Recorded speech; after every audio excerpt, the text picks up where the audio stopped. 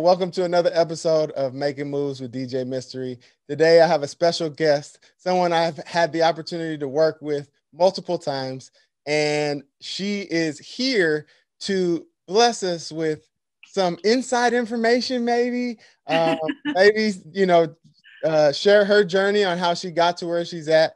Um, she is a casting director in Hollywood, uh, and she is, she owns her own company called House of Talent. Miss April Custodio. Did I say that right? Yeah, you got it right. Perfect. good job. Good job. Thank you so much. I appreciate you coming on the show. Yeah, thanks for having me. Um, please tell the people where you're from um, and just how you got into the industry. Um, let's see. So I'm originally from Florida, but I grew up in the Bay Area. And um, while I was in the Bay Area, um, in my earlier years, I, let's see, um, I used to work for a dot com. So after 9 11 hit, you know, um, our business basically kind of went under. So I left the Bay Area and I moved down to LA because I was like, I just need a break, you know. Um, and when I came down to LA, I knew no one. And I remember I had went out one night and I met this girl and she was like, just you know network you know try to you know go to some casting agencies. You know that's the best way you know and it's a small world. So go out and just start networking you know with other people you know with the casting directors you know they'll continue you know to introduce you to new people. So i was like okay let me try that. And i did that. And once i got into the business and once i started meeting new people i learned it. You know i learned about sag. I knew the contract like the back of my hand. Yes and then I started, you know, uh, when I saw roles that were going on, I would recommend people for them. And so then the casting directors just, you know, they loved me because I was helping them out, you know, and I was making their job so much easier, which I didn't realize how much easier I was making the job until now I'm in that position. And I'm just like, wow, that's like, it's amazing when people come to me and they're able to bring me other, you know, talent or, you know, or, you know, other options so i'm just like oh thank you. It's just like one less thing you know that i have to do. But um but it definitely helps you know it's definitely a collaborative thing. So when everyone can kind of put their hands into it and help each other it definitely makes things run a lot smoother. So you were you were never talent you were always working for the casting? Oh no no no no. I used to be talent. Like when i first i would do extra work i would do principal work i did auditions so i've done all that. I used to model in new york you know so you know, because I'm six. Yeah, let's talk, let's talk about that. And you know, you you, you skipped right over that part. What let, let us come on. We gotta we gotta we gotta get to know. Um, see, this is the thing. So, I used to model in New York, but I didn't like it. Right? I hated it. Number one, I eat too much for that. Right? Um, uh-huh. I used to eat, don't judge me, but when I was like 11 years old, I would eat like Big Macs, like three or four Big Macs in one sitting. I was like, I was like 5'11, 115 pounds. I was anorexic. But these Big Macs, like they did nothing to me. So when I had gone to New York, you know, and when I used to live out there, they literally, because you know, I used to live with my agents. So literally, um, they would feed me carrots and water, right? And they thought that that was going to sustain yeah. me. And I remember looking outside of my window from our high rise, and I would look down, and there was like a McDonald's on the corner and I just wanted a Big Mac so bad, right? but they were so strict. All we could eat was our carrots and our water. And you know, a lot of the other girls, you know, they smoked and they drank coffee and that and all that stuff. And I did none of that. I didn't drink coffee. I didn't smoke. So my appetite was constantly, you know, I didn't have anything to quench my appetite like the other girls did, you know. So I mean, carrots and water, they didn't even need it. They just needed their coffee and their and their um their cigarettes, right? but yeah, so yeah. I wasn't I wasn't happy. I wasn't um I wasn't cooperative, you know. I um and they told me if I didn't change my attitude, they were going to send me back to the bay. So I kind of made that happen. yeah. which, which, is okay. I mean, I, I feel like uh, you you moved into a role that's a, a lot more. I mean, you could you could do it for longer. You know, like I feel like models like they have to be so on point all the time and like you said their their diets and and doing all that stuff like which is cool for for you but after a certain amount of time you're gonna get tired of tired of that, even if you wanted yeah. to do it. You, you know? know, I always tell people that's why models are so grouchy, right? They haven't eaten, they haven't slept, right? you know, they're just on a caffeine high and nicotine high. That's all it is. And I mean, no offense to models out there because it's a difficult job. It's such a difficult job. I couldn't do it. Well, do a good job of what you're doing right now. so we'll, we'll stick to that. All right. So you were on set doing um, pretty much what doing the casting stuff without even right. knowing it. You know, like like even knowing the rules for SAG and and like I know there's people on set that I when I'm on set, I go to and like, hey, what does this mean? What is you know because they just know it. They've been in it for so long and they know it and they do this for for their mm-hmm. main thing. How did you even learn all the information? Is it just strictly research online? Was it reading? What was it? So I don't know if you remember, but back in the day, they used to have like this little yellow booklet, a little SAG, uh-huh. you know, contract was in there. So I would read it. I knew it like the back of my hand. And so, and then whenever situations happened on set, I would just pay attention and see, you know, how the producers dealt with it, how the actors dealt with it, how SAG dealt with it, and every single person dealt with it a different way, you know. So, and then that's another reason why, you know, in my casting, I like to go to set a lot and, you know, I would wrangle, you know, I would help wrangle because I would like to be the liaison between all three of them so that everyone could come to a middle ground and everyone walked away happy, you know, because I knew it from all different standpoints. And so um, that just made everything a lot easier to deal with. And it made people gravitate toward me a little um, faster because like i said it made their jobs easier if you can make someone's job easier in this business like i said if you're because we're already working 24 7 right i'm sure like when you're editing it's like you're focused and two days will pass by and you don't even realize it right that's like the same yeah. thing so you know when we're constantly working you know the sunrise comes the sunset comes we don't even realize it and but if somebody makes you know if somebody gives us those extra few minutes a day for us to grab a bite to eat, you know, because it's like I haven't had a hot meal in a long time. By the time I get it, you know, by the time I'm actually able to eat it, like so much time has passed by, I'm eating a cold meal. So, you know, it gets it gets super stressful and strenuous.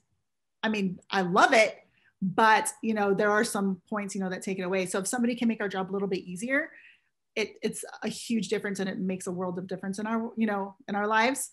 So what I didn't realize I was doing that for other people. So that's Got how it. people like started like gravitating toward me because they're just like, oh, I feel a little bit, you know, I feel a little bit easier, you know, when she's around. So yeah. Yeah, you made their jobs easier. Who who wouldn't want that? Right, but it was something that I enjoyed. I didn't feel like I was doing extra work or I didn't feel like, you know, I was, you know, hurting myself in a way. So it's just something that I enjoyed. So I just kind of like fell into that role. So it was it was a super easy transition. So you say you fell into the role, but how did who gave you that like you know because you were like you said you were doing this as talent, but then you obviously made a transition in some way, shape, or form to actually doing the actual casting work and being hired as the casting. So did you start by you know starting your own company so, already? No. So what happened was actually I was on set one time and I and it was like a slow year or something. And slow year means that like because I was one of the like I worked a lot, right? I was young. This is when I was young and cute, right? so I was like, I worked a lot. This was 20 years ago. Just think about this. This was 20 years ago, right? So Wait, wait, wait. To my audience, she says it's 20 years ago, but look, she still looks young and cute. So stop it. Relax. Okay. So, hey, you have good genes. It's okay. You're blessed. So 20 years ago, um, you know, I was working every single day and I, I was getting a little bit burnt out. And, you know, I love to cook and my family owns a restaurant in the Bay Area. So I was actually making plans to go work with them to learn the restaurant industry and then to bring it down to LA and to open up restaurants in LA. As I was making those calls and making those plans, you know, to uh, to move back to the Bay, you know, just for a few months and to learn it, I got a call and you know from a casting agency, and they said, "Hey, you know, um, we're, you know, we're like letting someone go. Do you want to come in and do you want to fill this position? And I was like, I don't know. Like, is this something I really want to do? Like, I already have plans. I'm moving out. You know, like what? You know, like this is kind of this is kind of weird. And they're just like, you know what? Just try it. you know, just try it for like a month, see how you like it. And then I started, I was like, okay, you know, why not? Why not try it? So I jumped into it and it, it was just crazy from there. Wow. But so how did they know to call you though? It's just because you've worked with them for so Yeah, long? I had worked with them for so long. And this company actually, I think I had worked on one of their very first jobs when they were first opening. So when um hmm. so when I was working with them, you know, it was just it was just like an easy connection and an easy relationship. So once I jumped in with them, um, you know, I kind of changed a few things because I don't know if you remember back in the day where we used to have to get details. We would have to call on the line and listen to it. And it's like yeah. if someone called, yeah. you had to hang up and call back and listen to it all over again, right? So it's like I hated doing that, right? Because my phone was always blowing up. So I created an email and I was the one that started creating, like I started sending out emails. And every casting company came onto me and SAG, they all came onto me and said that I could not do that. And I was like, show me where I can't do that. Like, why can't I do that? It's so easy. You know, people read it at their leisure. They get all the information right there. They don't have to listen to the line five different times, right? And they can refer back to it. And they can refer back to it. The map is there, like all that information is there. Why not do an email? And so they like little by little, people started like getting off my back. And then all of a sudden I realized everyone started doing it and they started using my same exact format. And I was like, hey, whatever, it makes people's lives easier. You know, it's fine. You know, there's a lot of people out here that's like, you know competition and it's uh you know conflict of interest. But i'm just like hey if we can help each other like let's move forward you know let's figure it out together and let's just keep making this industry go boom you know? Let's keep the jobs here in la i mean i cast nationwide but the more proficient we are here you know it's like let's let's make it happen. Well let's let's stop right there. Just like that attitude alone like how where does that attitude come from? Because not everybody has that attitude especially in this industry. Everybody's trying to take advantage of somebody. So so where does that come from? I am the oldest sibling of like 10 okay. Wow. So um in my house i um you know my mom worked a lot. My dad, um, he traveled a lot. Uh, at first, it was just my sister and I, you know, she was, but I treated her like she was like my daughter. You know, I made sure that she was fed and she went to school on time and she got home. You know, I had to make sure she, you know, I picked her up from school, you know, whatever it was she needed, you know, I was, I, I filled that role. Yeah. And then when my other siblings came into play, I took over that role as well. And my job was to keep harmony. My job was to make sure everybody did what they were supposed to do and do it well because you know if you don't do it right the first time that means we have to do it again. There's not enough minutes in the day to keep doing the same job over and over and over. So that's in, that's in everything everything uh, every part of your life. Right you know? So i just realized that you know if we all work together and if we're all on the same page just everything just gets done so much easier and it makes life so much easier to handle. You know it's like life already throws so much at us why cause unnecessary stress and unnecessary, unnecessary obstacles when you can either get it done right the first time and or figure it out ahead of time so that when the when the obstacle arises you already know how to to handle it you know or to prevent the obstacle altogether? Yeah. So you so you were basically a, a parent from a young age. Oh yeah. Definitely. I was definitely a parent at a young age. Yeah. Got it. You've been training to uh, wrangle and uh con- not control but just get, control.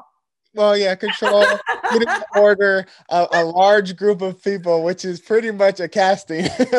Yeah exactly. That's exactly what it is. And it's funny because they call it like wrangling cats right? You're just like here kitty kitty. Wait wait hold on. Where are you going? Gotta come back. What about this one? You know? So yeah. It's, yeah, it's definitely wrangling cats because everyone has a different mentality. So especially, you know, in this industry, you deal with so many different um, personalities uh-huh. and all of my siblings have different personalities. So that was you know that was uh you know a test and definitely training for this industry for sure. Got it. So all right. So now you uh you decided to take the job. You ended up you ended up enjoying it obviously because you're still doing mm-hmm. it. Yeah. what were some of the obstacles you ran into um if any? Uh and then what were some of the things that what are some of the things that uh, make you love your job? being uh, being the new kid on the block being the new kid on the block is always an obstacle. People don't take you seriously. They don't think you know what you're talking about. Um, the company i was working for was male dominated you know and this industry is you know male dominated in a lot of the ways. So that's difficult to deal with sometimes. And it's not that um, it's not that i am intimidated by men um, because I have eight brothers, right? so it's not that I'm intimidated by men, it's that they just don't take me seriously and I have to be a little bit more assertive or I have to like figure out, you know, how to um how to communicate with them. You know, because every man communicates differently, right? Every so I just have to huh?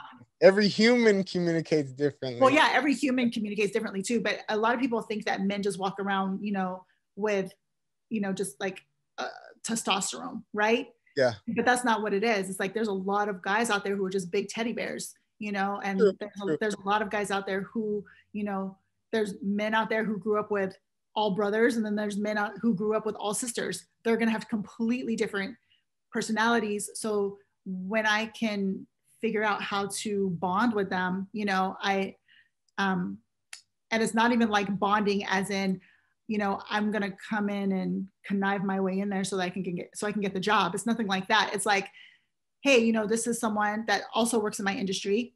We can collaborate or not but regardless we're going to run into each other sometime somewhere. So we might as well form a relationship you know and learn how to be cordial and respectful to each other you know because a lot of times you know you get disregarded you know by the men you know if you're a woman because they're so used to dealing with men and they think that women can't handle a lot of the things that go on in this industry because you know it can be pretty cutthroat sometimes. Sometimes. So, yeah i know. No it, i to be honest i i had no idea. I always thought casting i always viewed the casting part as more women in the and i don't know if it's because of when i got i started getting into this and maybe it's it transitioned at that point but I I didn't really know realize that it was kind of dominated by by male, to be honest. It's a lot of men, um, and then you're hired by men. Still? Um, not, I mean, it's still probably 50 50. Okay. But it's still ran by men. Like our producers and our directors are mostly men. Got it. Got it. So that's who we have to deal with, and that's who, you know, we communicate with throughout our days. And what are the things that you love about your job? One of the things I love about my job what keeps you going. What what what what makes you feel good? Like like because there's certain things that you know for me. Let's just be honest. I'm a mm-hmm. DJ.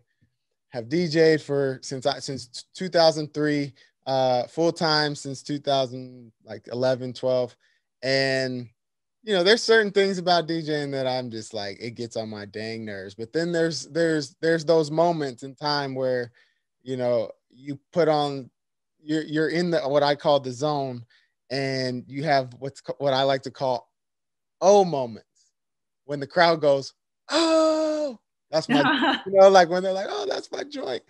Um, so there's moments when I'm doing my job and it just it feels right it feels good and everything's everything is great you know? And then but that moment could easily i can be taken out of that moment uh by uh, someone in the crowd you know uh giving me negative feedback um anything it could be anything. But mm-hmm. there are moments in time where you just feel good about what you're doing and you feel like you're you're making a difference. So I throw that question to you. What um, are those moments for you as a casting director? Because I don't know what casting what what in that line of work makes you feel like, yes, this is okay. So I'm gonna take it back a little bit. Um, another obstacle that we have is, you know, there's a lot of people disappointment, right? You know, we're giving special opportunities, you know, in this business to be put in front of some pretty spectacular people, right? I agree. And so when you give people these opportunities, especially people that are begging for the opportunity or people who have given up their whole life from the Midwest or whatever, and they've moved out here and they're just, they beg for that chance and you give it to them and they blow it for whatever reason for you know they may cancel they may show up late even if they show up late you know um, maybe they're just not as prepared as they say that they are you know or whatever it is you know or they get on set and then they're entitled you know and they have a bad attitude you know and they they're a little high maintenance on set and stuff like that and like you know th- those are things you know that can ruin not only their image but it can ruin my reputation as well because i vetted them and i vouch for them to get to set, right? On the other hand, there are people that are so grateful.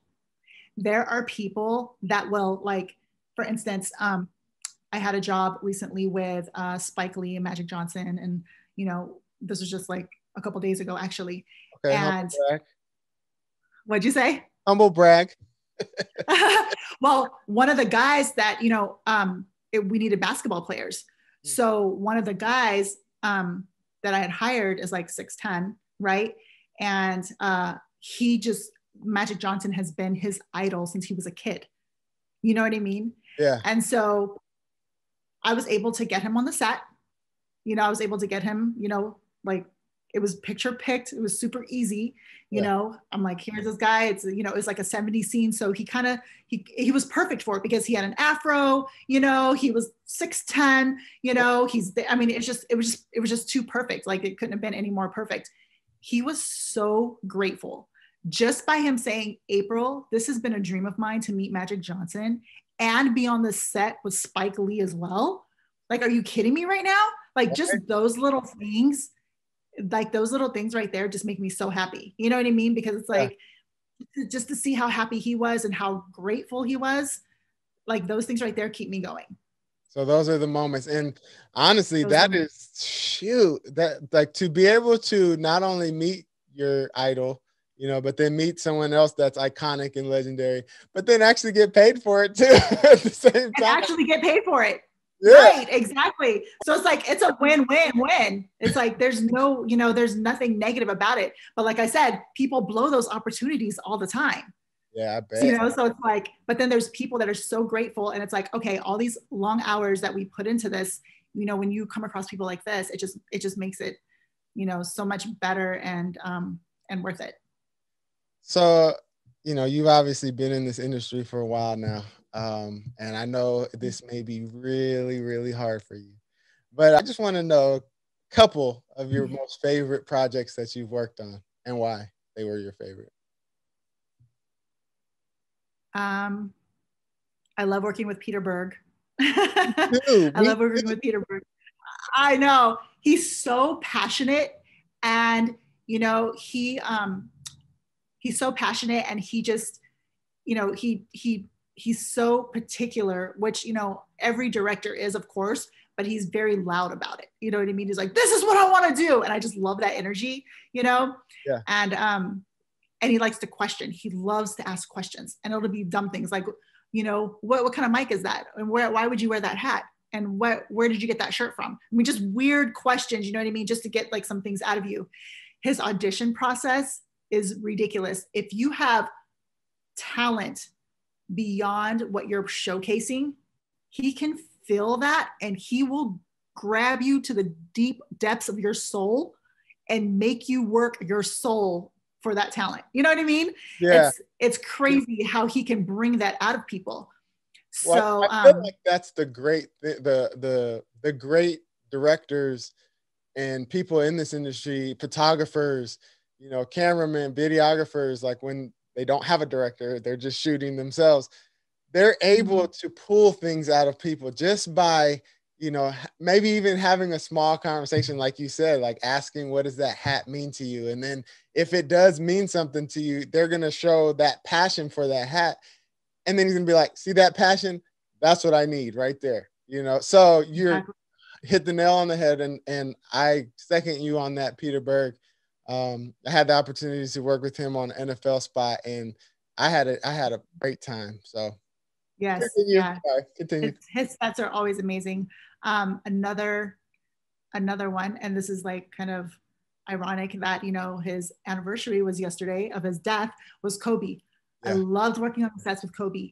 Just to watch him work and just to watch him interact, you know, with other people and he's so consistent, right? It didn't matter what set we were on, it didn't matter who he was speaking to, you know, whether it was the executive producer or the director or, you know, um, it could be the janitor or wardrobe. It didn't matter who it was. You know, it could be, you know, the guy at the crosswalk making sure that everybody's, you know, crossing the street, you know. He treated everyone the same. He had a smile for everyone. And, you know, he had this confidence about him that was, I'm the best right? Like he knew he was the best, but he knew that he earned it because he works his butt off. But what I love about him is that he expects everyone else to be the best as well. You know, so he challenges people, you know, kind of like in a way that Peter Berg does, you know, yeah. but Peter Berg will kind of like drill you, where Kobe will like school you, you know, and he'll like explain things to you and he'll drop knowledge, you know, and he'll make jokes and then he'll talk in another language, you know, and he just does these things, you know, he's just so charismatic. And like I said, it just didn't matter where he was, what set he was on. Um, you know, of course, at the games, you know, he's a different person because he's in Mamba mode, right? Yeah. But um, but yeah, but like on sets or like, you know, just in regular LA life, he was just always so um yeah, just like charismatic and his personally his personality just it, it was just contagious. Yeah. It was so he's like also one of my favorites. Rest in peace. Yeah, Kobe. that was that was that was a hard one. All right. So we got how you got into the industry. Now let's talk about, you know, when you decided when you decided to start um, House of Talent and uh, and why and how and what obstacles you ran into now doing that. Um, so I was with that company. And um, we started having different views on things. You know i guess we just started to outgrow each other a little bit which is fine. You know it happens to a lot of companies. And um, and i had decided to leave. So when i left i really didn't know what my next step was. You know um, i still loved being in the industry but i didn't know how i wanted to proceed with you know um, either my career or if i wanted to pivot or you know what i wanted to do. Yeah. and so when i left i was still getting phone calls from like producers and directors and you know they're just like wait what's going on? No we still need you to cast for us. And i was like i can't. I'm no longer with that company. And they're just like well you still need to cast for us. And i was like i don't i don't have a company. I can't cast for you. You know it's like i'm not licensed. Like i don't have i don't have anything right now. I can't cast for you. So um I just kind of like I would let it go, but then they would constantly check in with me. And then um, I had met, um, I had met up with one of my friends who's also in the industry, but he's uh, a gang boss, right? And he wanted to start his own. He wanted to create passive income, whatever. He wanted to. He actually already started like his own agency, but he was like, "Will you come on and just help me like start it?" And that day, I had someone contact me and say, "April, I have this job. Can you please cast it?" So then I was, I asked my friend, I was like, well, do you mind if I cast this job through your company? And he was like, no, of course. Like, come on in, like, do it. Yeah. So then um, I started casting, and then the word just spread like fire. I've never marketed, I've never advertised, I've never done anything. So all my jobs have always been, you know, word of mouth. So it just like spread like wildfire. And then I just created my own and just started working. Well, that's a testament to your abilities. That's a testament to your character and just your reputation. You know, to be able to, you know, jump in with a company that wasn't even established, but it was you. You were the the asset that everybody wanted.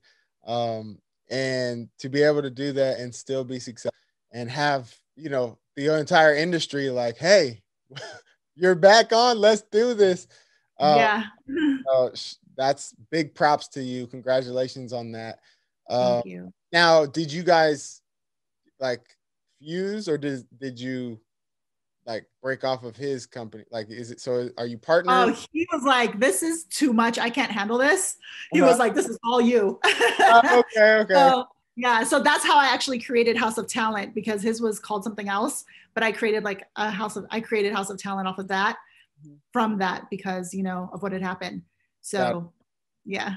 Oh, okay. He was like, "This is what this is way more than I expected this to be," and I was like, "I know it looks all fun and games, you know, but it's smoke and mirrors. It's crazy." Yeah. Right. Uh, people, you know, they see the the posts or whatever. They see, you know, that you're working on set with these amazing people, but they don't realize it, how much sleep you didn't get.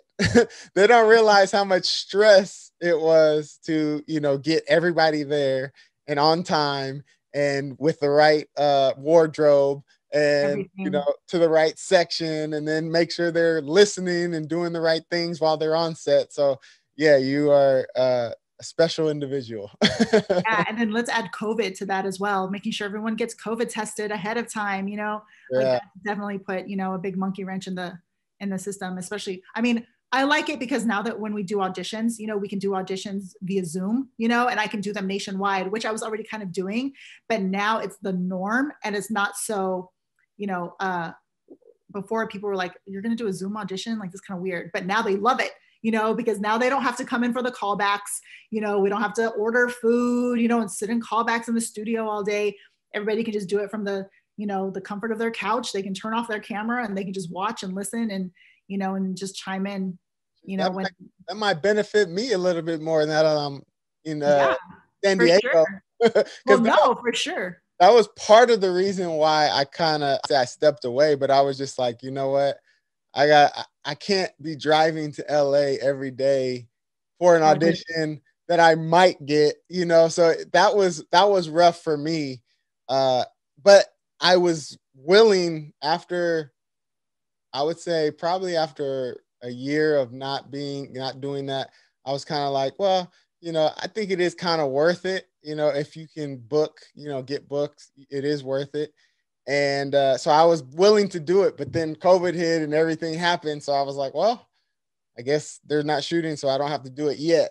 But now you're telling me that there's yes. a chance that I could. Yeah, for sure. I, I mean, we have people auditioning from all over the country, you know, trying to audition for LA roles where we have to actually go in and weed them out because they think that you know, hey, I'm in New York and I can audition for this. But the thing is, is that if we need them to get a COVID test tomorrow, they can't get here. You know, if we need them to come in and quarantine for 10 days, they can't do it. You know, so um, we're very strict about the local hires. You know, like I have a job going on in Miami right now, and there's a lot of New Yorkers always want to submit for like the Miami jobs, you know, and they always want to audition for them and stuff like that. And I'm just like, look, no, because if I need you here tomorrow, you can't do it. If they need a last minute fitting or if they need whatever it is, you know, you can't make it happen. However, one thing that's great about the pandemic um, is you have access to online classes, right? So all of the classes that are like if you're in Southern California and there's some amazing classes in New York, you have access to those classes because they're all on Zoom now. You know, where before you would have to go in and audit them right? And you would have to go in and sit for four hours in a classroom, right? It's not like that anymore. You know, you can audition or you can um, you can audit these classes wherever, and you can take these classes no matter where the the coach is or you know where the the teacher is. You can take these classes, and it's pretty amazing. Just to make it clear, you're referring to acting classes, correct? Acting classes, yes. Yes. Okay. Oh, so I just want to make it clear for people that are listening. Oh, sorry, I thought I said that. Sorry. No, you can take you can take acting classes online, and it can benefit you very well. I know uh, the classes that I've taken. Um, in you know, correct me if I'm wrong, but I feel like acting like acting classes they don't really teach you how to act. They teach you how to access your different emotions inside and and you get to learn more about yourself than anything. And so they teach you how to harness those things and use them uh, on screen. So am I when Peter Berg goes in and pulls your soul out. Yeah that's what this is what we've been working for. No um yes that's very true. Um, of course it depends on what kind of acting classes it's, you know you go to. You know if you go to you can go to a technique class you know um, where it's not really going to do that. But yes, a lot of people who go through acting classes, they need a therapist on the side because you're dealing with, I'm not kidding, like you're dealing with some serious emotions. And that's where, you know, a lot of the art comes from because it comes from that raw, you know, emotion, you know, that you either never dealt with or that you learn to deal with, you know, and you've learned to transform it into an art and into like a showcase so that other people can relate to it as well. Right. Yeah. So, so what is your what are your what's your advice for uh let's just say a person that wants to get into acting, um, you know, because they can't just call you and say, "Hey, I want to get on set." You know, they got to go through a process. Uh, but you might be able to help help them uh, maneuver it a little bit better. You know, so what are some tips that you might give somebody that that wants to, you know, work with you? Um, it's funny, I get asked this question every day on Clubhouse. oh. so uh, yeah, so I would say, you know, if someone is first starting out in the business, number one, um, figure out what you want to do. Do you want to do TV? Do you want to do film? Do you want to do commercials? Do your research, look into that first, um, look up YouTube videos, um, audit classes. You have to hone your skill, you know. Um, you need to audit these classes and figure out because you know a lot of people you know aren't meisner actors you know and so a lot of people can't do improv you know so find what your niche is and concentrate on that get a you know get representation like an actor or I mean a, an agent or a manager and have them represent you for whatever that is. I mean, of course, there's people that are triple threats, you know, people that can do everything across the board, you know, so where the agent will sign them, you know, across the board well, you know, some people only have like a certain niche. Get in there, you know, master this, get out there and book, you know, with your agent or your manager. Um, and then uh, and then just go from there and then start venturing out you know when you start seeing you know other other avenues i guess you know like for instance if you're on set and you're just like okay you know i'm i'm i'm you know i'm all improv i'm all comedy you know this works well for me. But then you go and you see someone who's super dramatic you know and you realize hey you know what? I actually have that that i need to work on as well. I know i can pull that out of me. Yeah. Explore that right um so that's that's pretty much my advice you know but it would definitely be to hone your craft and to be able to control it and to be able to turn it off and on when it's needed mm-hmm. and you see so many talented people on a daily basis so how does one stand out? Personality. Personality. reliability. Reliability is everything. How fast they answer their phone. Um, I always say, if you don't answer your phone, you could be missing that million dollar phone call. Like you have to answer your phone, right? Um, a lot of times we use, we use text message these days, you know, because it's easier for us to text a hundred people in an hour. Otherwise, if we're talking to somebody, that could take a full hour, right on the phone so you know we try to utilize text just to try to get as much information out as possible just to make the most of our time yes respond back if it takes you four hours to respond back the opportunity might have been gone already you know because if we're trying to put people on avail and they haven't responded back they probably went you know and they're trying to book immediately i mean don't get me wrong some people will be on avail for a few days or maybe a week you know depending on how fast you know they plan on shooting or what the schedule is but if they're trying to book immediately and you haven't responded back uh-huh they probably moved on to the next person. So don't ever take that, don't ever take that chance. Always have your phone on, always be in communication. Okay. And then for parents, parents, you know, do you have any advice for parents? Because you know, parents they want to get involved with everything, especially because they love their child so much and they want them to, to be successful.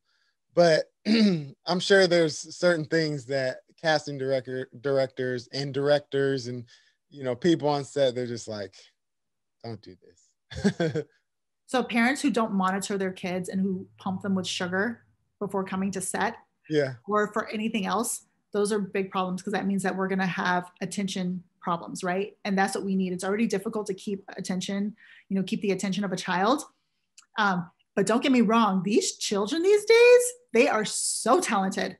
They have their lines down better than any adult that ever walks in the room. And i mean um, so, and it's crazy because a lot of these kids can't even read, right? Like sometimes we get kids so young they can't even read. The parents are just telling them the lines and the kids memorize them. So when they come in and if we have a script change, the kids don't know it because the parents read it off to them, right? They're just like, oh, I can't read. And you're like, wait, how do you know all like four pages? How do you know four pages of dialogue? You know, and they're just like, oh, my mom read it to me on the way here from school. You know, it's so crazy. But um, make sure that your child is personable that they're not scared of adults all i mean obviously they have to learn that line. You know, you don't ever want to put them in a compromising position or situation. So, um, but also make sure that this is something that your child wants to do. You know, if there's resistance, don't force them because then they'll, you know, they'll they'll rebel. Kids rebel, right?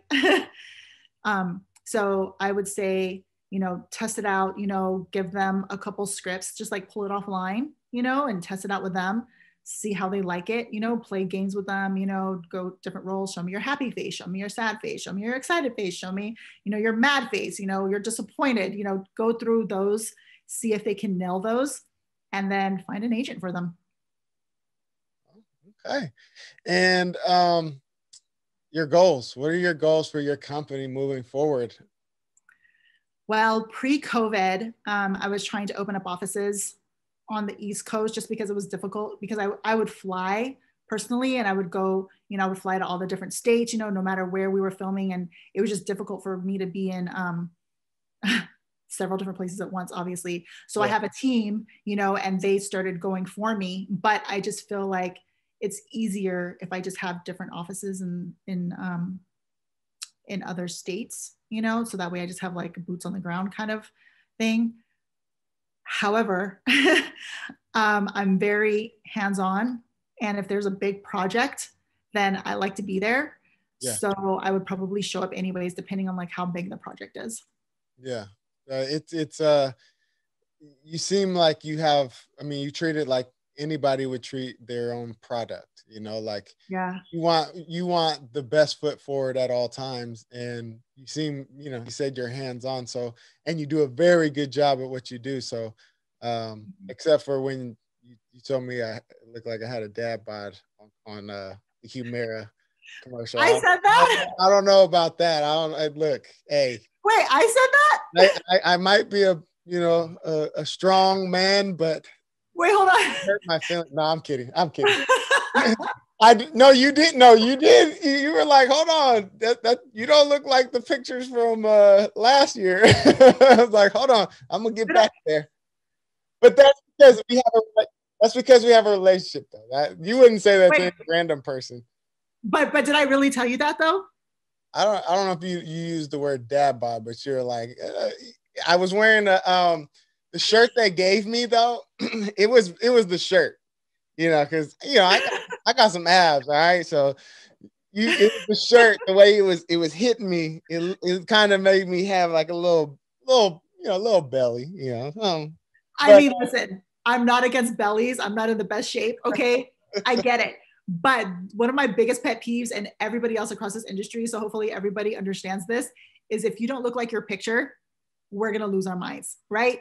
And especially right now during COVID, no headshots are believable. Everybody's full of it. Yeah, I mean, that's one of the reasons why we have auditions to begin with, because people don't look like their headshots. And when you walk in, you know, we're casting you because we expect you to look like your headshot. So when you walk in and you don't look like your headshot, it's like, okay, now he already doesn't look like his headshot, but can he act? You know, can he nail this role? So, you know, there's like all these things working against you. So that's the whole point of like the audition. However, yes, I think on Humira, you were a baseball player, right? No, a security guard. It was when we were in uh, we were in Malibu, and it was like a a band, and they were doing a concert. Okay, I know exactly what you're talking about. Yeah. Did you have a beer belly or something?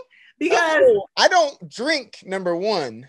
number two, I might have a slight dad bod at the moment. Did you have a burger belly? I don't know. No, honestly, I think it was the shirt, the way it was. It was. I was wearing it. I don't know because they had. I'm sorry, I didn't. I don't. I didn't mean to offend you. Which is crazy because I don't remember ever you being out of shape. So that's crazy. I probably was just messing with you. I don't know, but um, but I have to tell you that one of my um, one of my biggest downfalls, but also one of my biggest uh, uh one of the positive things about me is that I'm very honest. And if I feel like something you're doing is hurting you, I'm going to let you know, you know? As you should. And, um, as you should. Yeah. And a lot of people can be sensitive to that, but I try to be as nice as possible. But sometimes it's just like, look, I don't have enough time, you know, to sit here and nurture your feelings.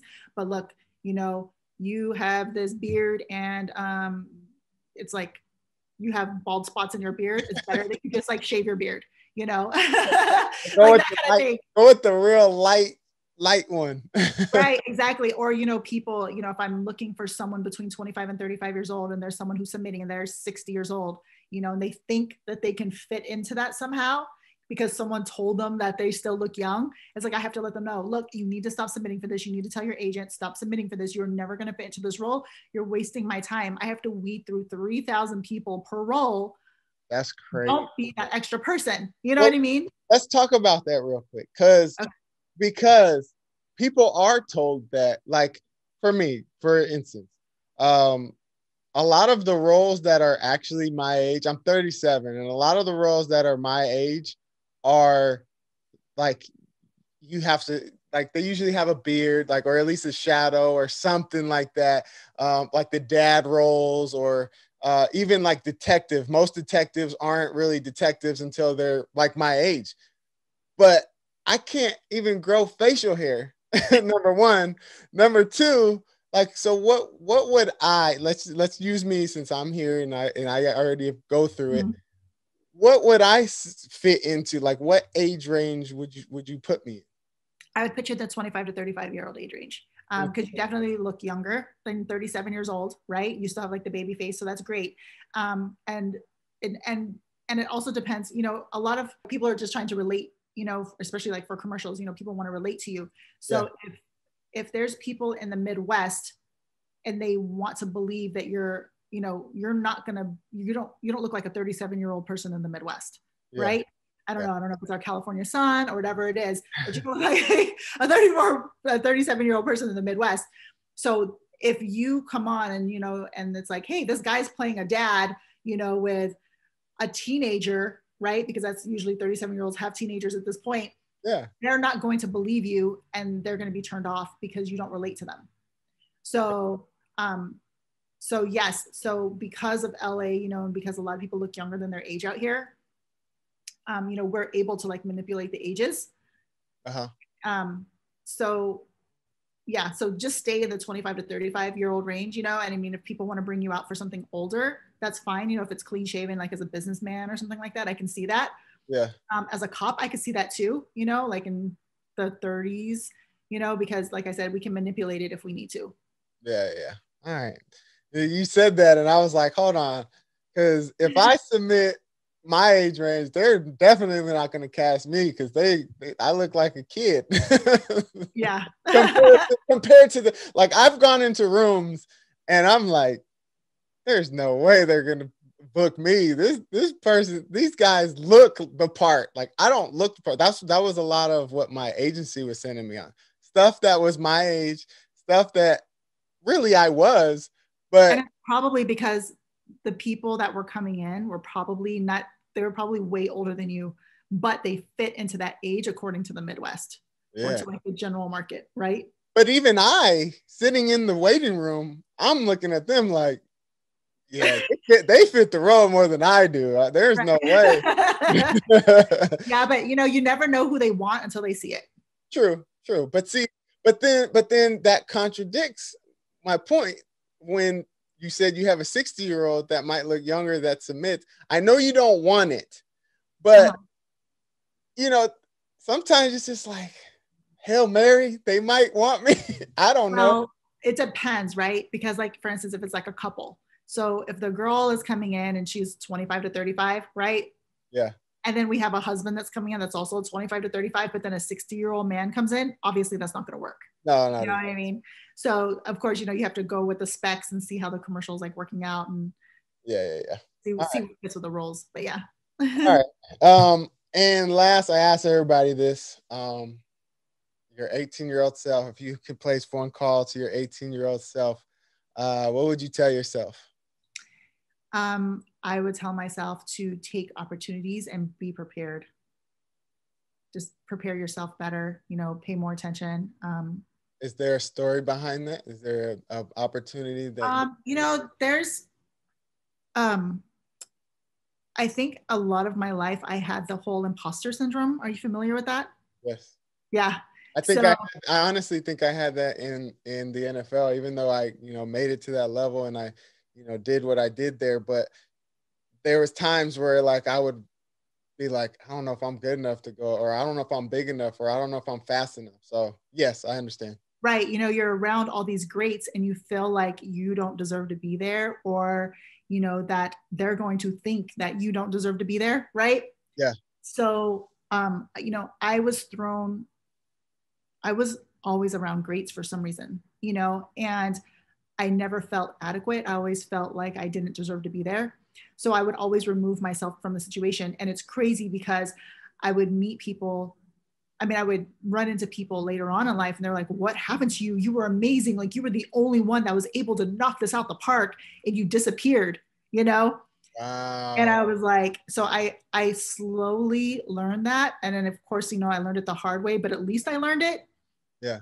It's still something that I'm kind of overcoming a little bit. You know, I have to remind myself you worked hard, you work hard, you know, and it's okay. Like you deserve to be here just like everybody else deserves to be here. You know, I I I dropped out of college. so since I dropped out of college, you know, I felt mm-hmm. like I always had to triple work to prove myself, yeah. you know, and I felt like people would be able to see through me and say, you know, you didn't get your degree. How are you here? Like, you don't deserve to be here. Like, we're all USC, you know, Stanford, you know, we're all, you know, we have double PhDs, you know, when you're sitting around those type of people, um, you know, you start to question yourself, like, why, how did I get here? Oh my God, they're not going to think of me as the same or the same caliber.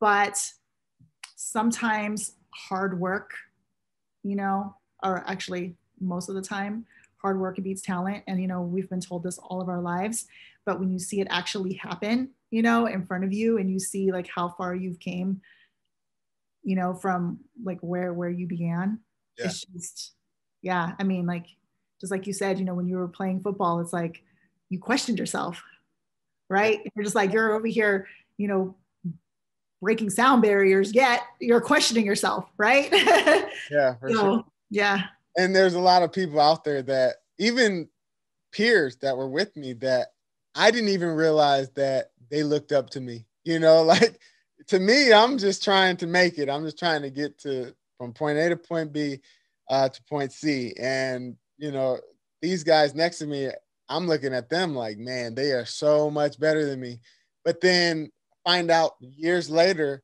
they looked up to me. They were like, I loved how you worked. I love how, uh, you know, like you were always first in, in certain things. You always, you know, like you were always the example. And I'm like, what? And some of these guys went beyond, like they won Super Bowls. They did way beyond. They got drafted. I didn't even get drafted. I was a free agent. So I really work hard. Uh, but to hear them say that about me years later, I was like, man, I, I was, I was mentally I was messing myself up, you know. Right.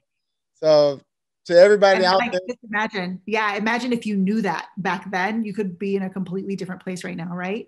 It's like you were holding yourself back. That's how I felt. Also, that yeah. was my big. That's what I would tell myself at 18. And do you think you would listen? I don't know.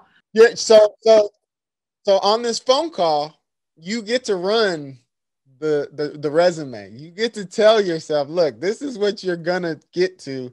Uh, but here's my advice. Boom, boom, boom. Now, do you think you would listen? Yes, because I've always been a big believer in learning from other people's mistakes, right? Same.